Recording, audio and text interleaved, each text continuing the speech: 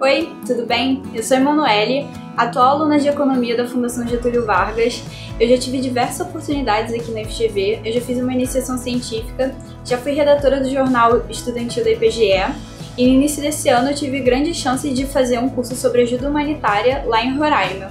Bom, eu acredito que assim como eu, você também pretende ter grandes oportunidades na sua vida, tanto profissionais quanto acadêmicas. E para isso, você precisa escolher muito bem a sua faculdade.